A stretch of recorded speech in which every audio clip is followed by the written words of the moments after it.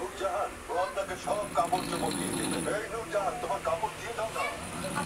আমার ভাইয়ের কাপড় আপনাকে আমি দিতে বলব, ওগুলো আপনার হয়ে যাবে। আপনার